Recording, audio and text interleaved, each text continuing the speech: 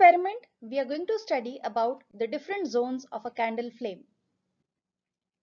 The material required for this purpose is you will require a big sized candle, a pair of tongs, a hollow metallic pipe, a thin copper wire and a glass plate. I have used a glass rod so you can use a glass rod instead.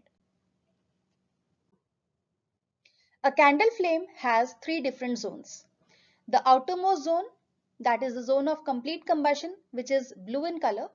You can see this actual image of a candle flame and you can identify it though it is not very clearly visible here. But if you light a candle you will be very clearly be able to see this blue colored part on the outermost side of the flame.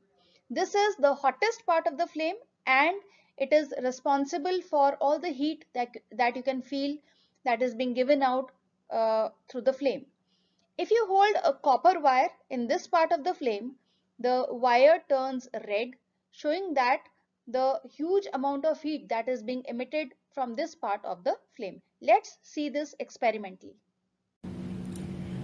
On holding a copper wire in the outermost zone of the flame, we see that it turns red hot in a few seconds.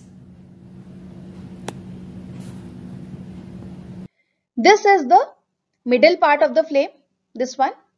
This is the most luminous part of the flame and this is the zone where incomplete combustion of the wax vapors is taking place. If you hold a glass rod or a glass plate in the middle zone of the flame, you will find it getting deposited with black colored soot showing the evolution of black carbon particles here.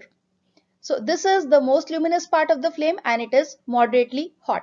You can see this in this uh, actual uh, image of the flame here. I will now hold a glass rod uh, on the flame and just see you will find soot getting deposited on the uh, rod. You can also use a plate instead. See, the rod has turned black showing that incomplete combustion takes place in the middle part of the flame. So when at the moment I introduce this to the middle part of the flame, this turned black.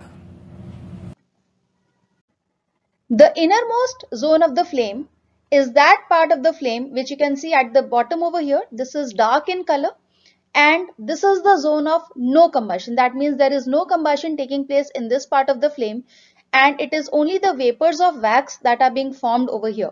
So when we hold a metallic pipe in this region of the flame in such a way that the vapors they get an outlet through the pipe, we can observe a flame on the other end of the pipe if we bring a burning matchstick close to it. Let us see this experimentally.